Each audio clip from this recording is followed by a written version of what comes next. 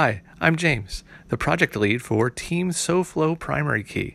Our project is the Livestock Geofencing, an autonomous system that monitors animals within a zone. Our build journey has been a wild ride.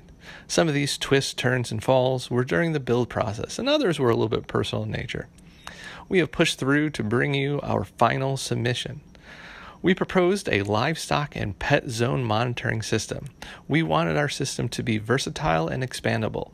We began by imagining how our end user might use the system. The team consists of my brother and myself. My brother is an experienced information technology manager with experience working in higher education and nonprofit industries.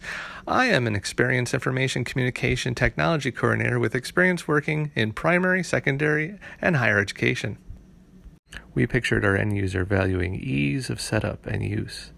They would appreciate reliability and expect a system to be a set it and forget it program.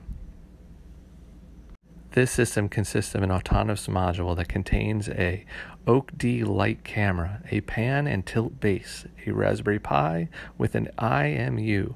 The system can be mounted on top of a vantage point, and RQ codes are used to help set up the zone.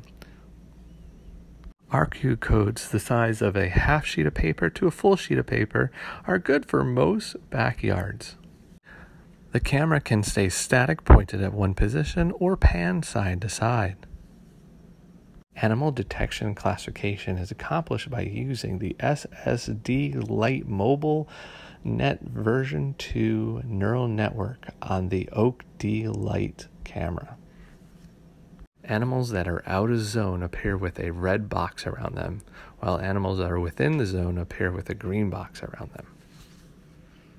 This project was challenging, and we learned a lot about OpenVINO and DepthAI. We are deeply grateful to OpenCV and the Spatial AI contest partners, and look forward to seeing what the other teams have accomplished. Thank you for watching.